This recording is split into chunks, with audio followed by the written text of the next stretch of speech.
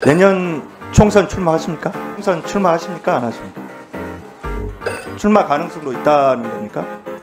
질의의 핵심이 아니고 내년 총선에 출마하실 거냐 안 하실 거냐 하는 단도직입적으로 하나 묻겠습니다. 내년 총선 출마하십니까? 뭐 제가 그 상투적으로 드린 말씀이 아니고 저는 뭐 1년 동안 어 새벽 4시쯤 되면 일어나는데 일어났을 때부터 잘 때까지 오로지 국가보훈부, 국가보훈만 생각을 합니다. 정말 진심입니다. 제가 사명감을 느끼고 있습니다. 내년 총선 출마하십니까? 안 하십니까? 그거는 뭐 정치적인 거를 제가 뭐 이렇게 생각해 볼 그동안의 겨를이 없었습니다.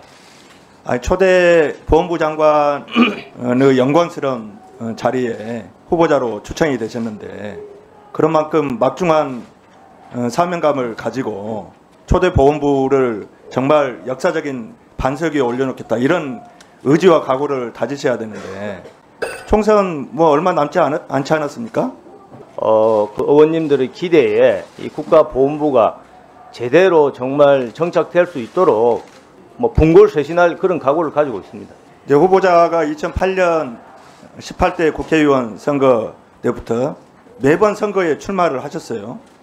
지난번 선거 때는 출마 선언을 했다가 사퇴를 하시면서 이후 나흘 만에 어, 보훈처장으로 이렇게 내정이 되셨는데 이 부분에 대해서도 일각에서는 사전에 자리를 보장받고 후보를 사퇴한 거 아니냐 하는 이야기도 있고 어쨌든 후보자가 지금까지 그 정치인으로서 살아오면서 해왔던 여러 가지 언행들을 보면 정치적인 어, 의지, 어, 욕, 욕망 이런 것이 상당히 강한 것 같은데 내년 어, 총선 얼마 앞두고 있지 않은 상황에서 총선 출마 여부를 단호하게 자기 입장을 이야기하지 못한다는 것은 출마 가능성도 있다는 겁니까? 지난번 출마 선언을 하고 어, 며칠 있다가 보훈처장 그 사퇴를 하고 보훈처장 임명됐다 이런 부분에 대해서 일부 언론이나 이런 데서 어, 상당히 그 색안경을 끼고 지적을 한 부분을 봤습니다.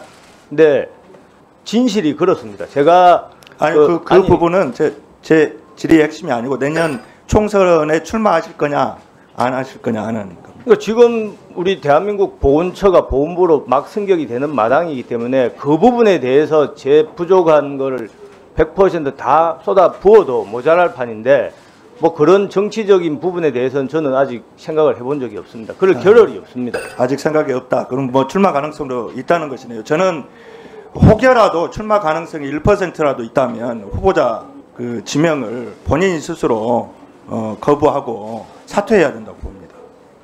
내년은 총선 출마하려면 어, 90일 전에 어, 고- 공무원을 사퇴를 해야 되니까 고작 6개월 초대 보훈부 장관직 수행하는 겁니다. 어, 뭐 오늘 이 자리 청문회에서도 단호하게 내년 총선 출마 뜻 없다. 초대 보훈부 장관으로서 보훈부를 정말 역사적인 반석 위에 올려놓겠다. 이런 이야기 한마디 제대로 못하신다고 하는 것은 평소에 박민식 후보자가 정치인으로서 소신 있는 그런 정치 활동을 해왔던 모습에 비춰 본다면 조금 실망스러운 그런 부분입니다. 뭐 보훈부한테 제대로 정착될 수 있도록 정말 열과 성을 다해서 최선을 다하겠습니다.